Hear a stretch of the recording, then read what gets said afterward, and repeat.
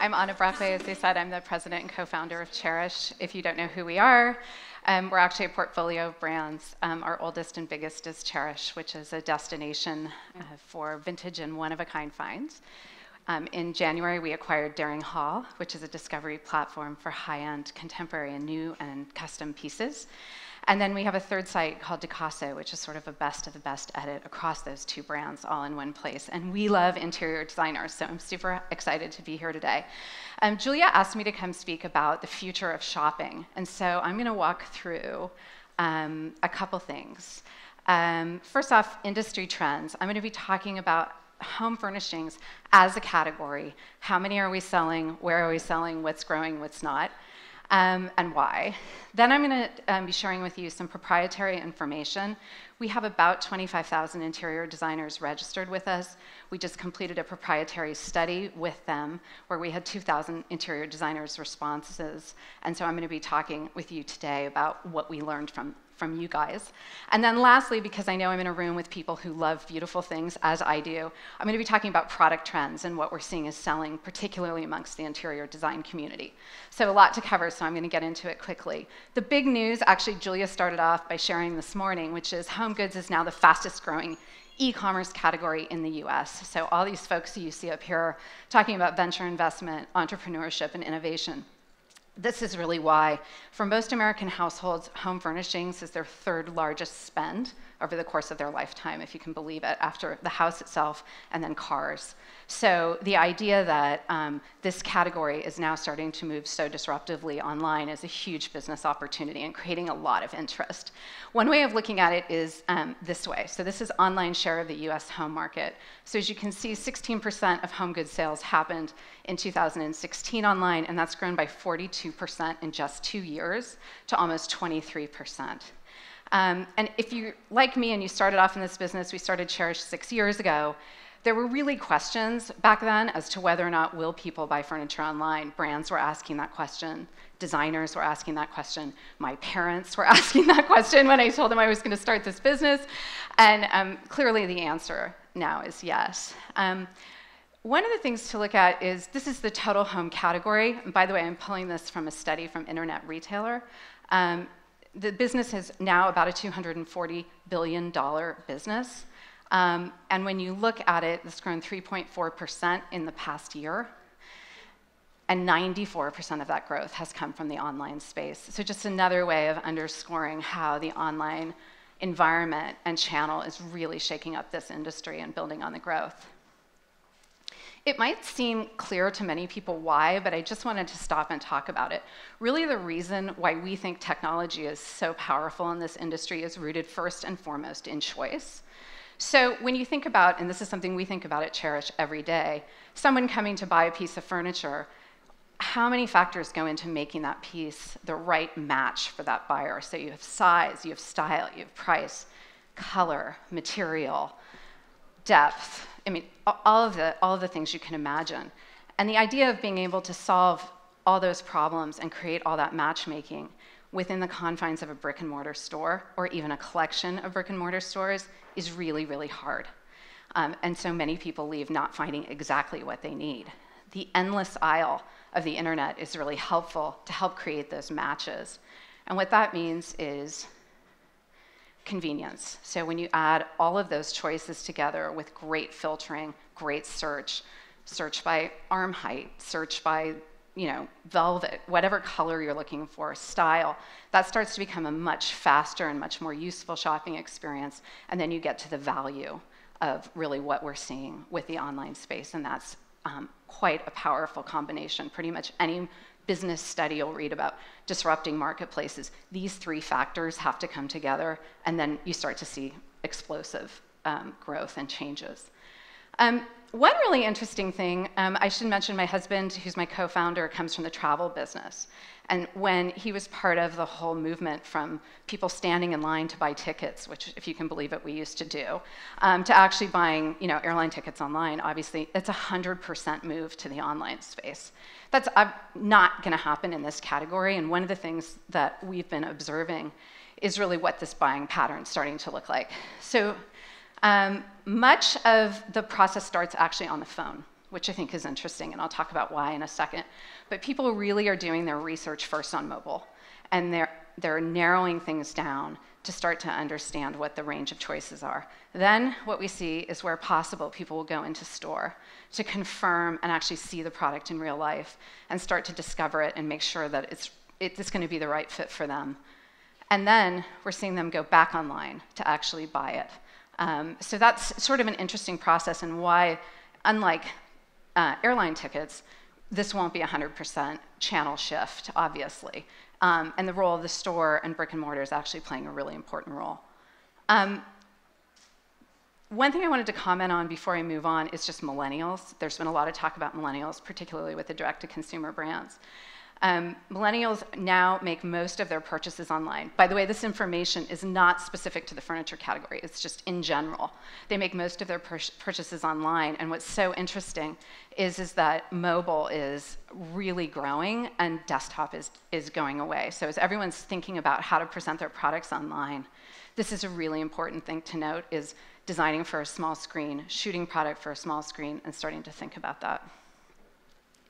Um, the next part I'm going to talk about are designers. One thing I've observed, having been in this business for a bit, has been when we talk with people who work at the higher end of the category with um, more luxury level products and with the interior design community, when they're presented with information about the digital world, they'll say, oh, yeah, that's true for everybody else and at the mass levels, but not necessarily true for the design professional community and the quality of product that I'm selling. And I really wanted to just start to dispel that myth um, with our study that we're getting through. Um, so here's what we heard designers are saying. First off, I wanted to talk about why designers are important. So I mentioned it's a $240 billion category. And this is from the ASID State of the um, Industry report that just came out. And it shows that designers are actually responsible for $80 billion, so 30% of the spending in the category. We size the interior design professional market to be anywhere from 60 to 80,000 people. So when you think about 60 to 80,000 people driving $80 billion worth of spending, you can see why Julia probably didn't have a hard time getting sponsors for this event, because, it's a really influential group driving a ton of spending. Um, and just to give you a sense of who, who our respondents were, um, our average designer who was responding in our survey, and I mentioned there were 2,000 of them, is 52. She's had 18 years in the industry. Her project sizes are about, her budgets are about $300,000, seven employees, and she does 15 projects a year. So it's, it's, a, it's, a, it's a really practicing um, and, and busy designer who we heard back from. What do we hear?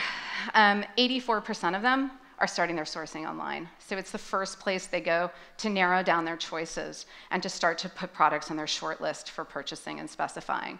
Two, 81% will end up buying those items after having first viewed them online. So online as the starting place is a really, really compelling and important part of um, the sales cycle. Three, 47% of all projects an interior design project end up actually getting bought. So the buy button happens online. Um, and 54% of designers are using an online interface of some sort to begin to customize product. So it's really, I think, an important point is to all of us who are selling and wanting to service the interior design community to recognize that making this easy for designers and helping them be efficient in this is key to the success of our whole ecosystem. Um, this was one of my favorite quotes that came out of the study. Let's see if we can get that. 54% of interior designers say that their biggest professional challenge is a meddling client. I feel like I'm in Scooby Doo when I say that. Um, if it hadn't been for those rascally kids. Um, so 54% of designers say this is a challenge. And this is probably the biggest thing that I hear from designers is this notion that my customer is so exposed on Instagram and Pinterest to ideas and things that are out there. It's really a challenge for me to stay ahead and to really maintain my authoritative position as a design expert and demonstrate my value to the client. And so that's something we think about every day, which is how can we help designers really stay ahead of their client and, and to bring value to that relationship. Um, this is a quote I like. I consistently need to delight my customers with something new because they've seen, they've seen so much already by the time um, they start working together.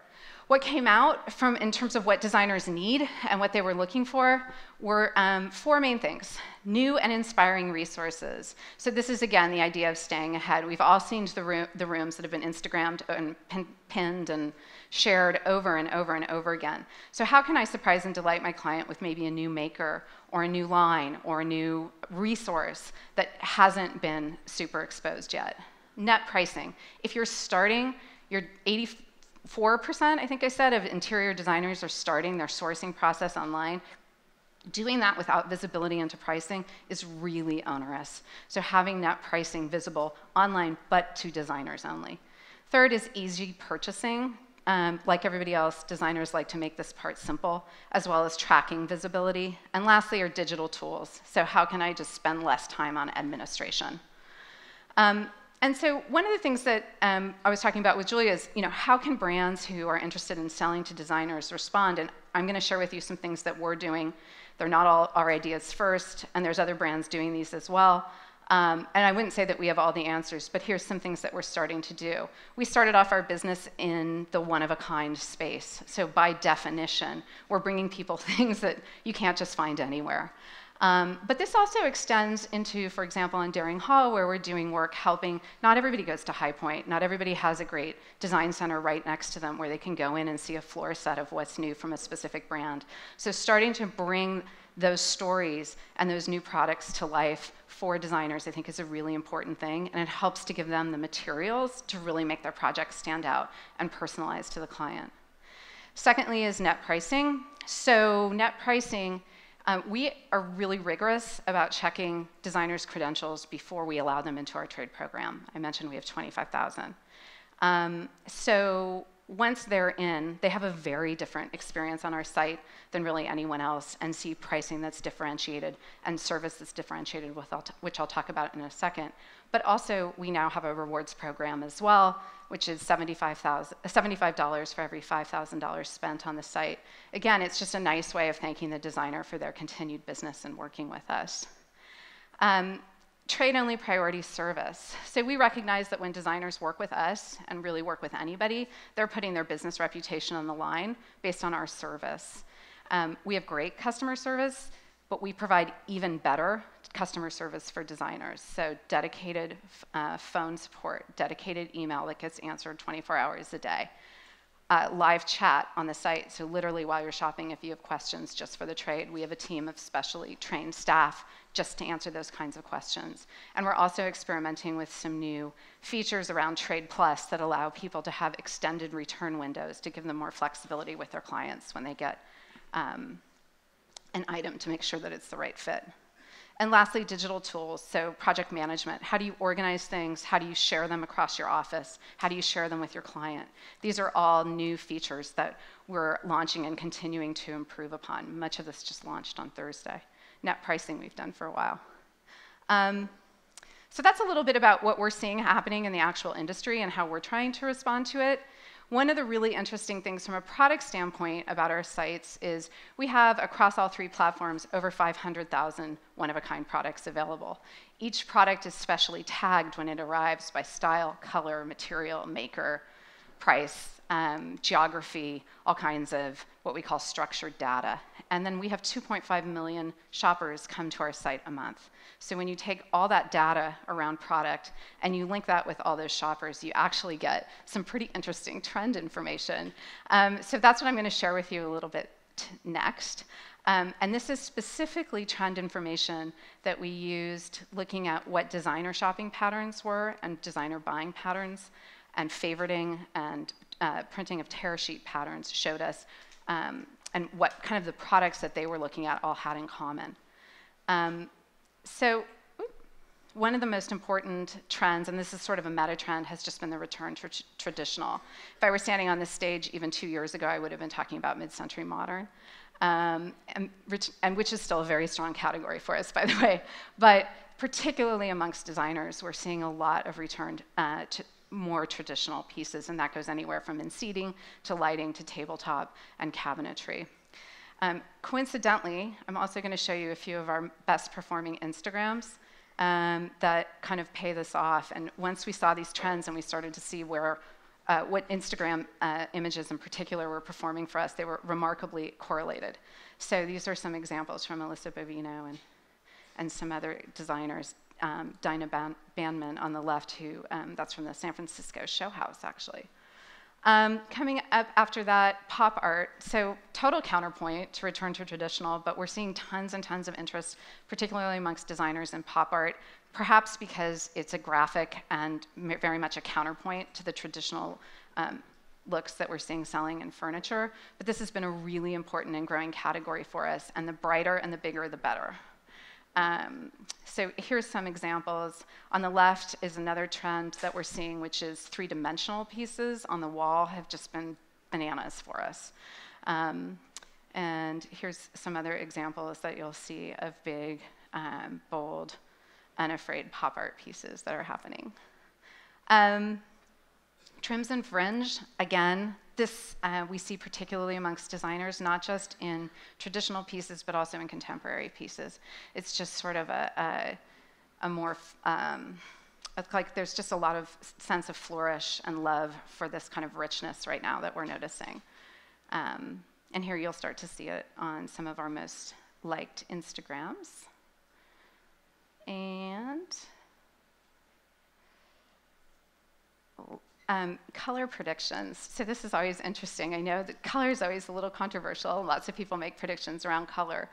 Paprika has been a fantastic seller for us. It's kind of coming across a little brighter orange on this screen, but it's really more of a rich rust that we're seeing doing really, really well. It's almost a little bit richer than the traditional Hermes orange. Um, and you see that especially in um, contemporary pieces, has been going really well.